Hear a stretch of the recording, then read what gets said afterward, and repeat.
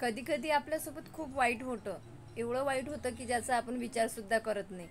तर त्यावेळेस आपल्याला खूप वाईट वाटतं की हे माझ्यासोबत काय आज बरं झालं. आणि आपण खूप खूप म्हणजे हतबल होऊन जातो. आणि काय म्हणतो ना आपण स्वतःवरचा विश्वास ढळून जातो पूर्ण. पण अशा वेळेस स्वतःवरचा विश्वास कमी होऊ देऊ नका. ते वेळ जाऊ द्या तो काळ जाऊ द्या. आणि नंतर तुम्हाला समजतं. जे झालं ना ते तुमच्यासाठीच झालं. तुमच्या चांगल्यासाठीच झालं. होऊ शकते की याच्याहूनही चांगली गोष्ट देवाला तुमच्या ज तुम्हाला द्यायची होती. म्हणून देवाने काय केलं? तर तुमच्या आयुष्यातलं ते एक खराब व्यक्ती किंवा ते एक खराब पान काढून टाकलं. कारण त्याच्यापेक्षा भारी आणि चांगली वस्तू देवाला तुम्हाला द्यायची आहे. म्हणून बी पॉझिटिव्ह आणि ओनली कीप स्माइलिंग नेहमी हसत राहा आणि दुसऱ्यांना पण हसवत राहा.